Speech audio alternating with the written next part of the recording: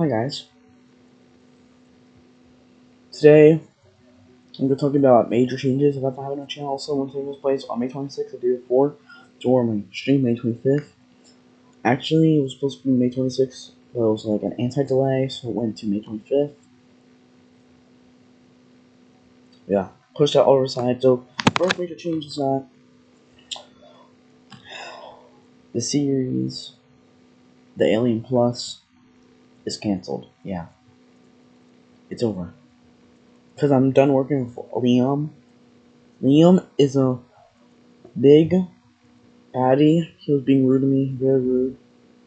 He's also a two year old. He's dating someone on Roblox who's an eight year old. You see him like a 40 year old man. This guy is just a girl trying to kidnap him. But, but, second major change is that I'm I don't know what I'm gonna do for my new videos because I lost a lot of my friends on Roblox. It's nothing they make me um, like I'm like running out of ideas. That's what it basically is.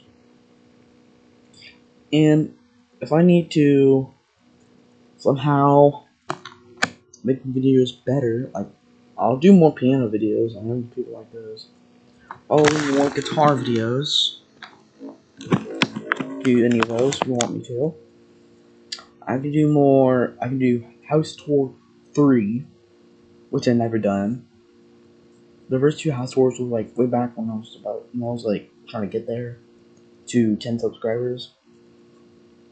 And yeah, that's probably about it. But I have like one more major probably change we're gonna do.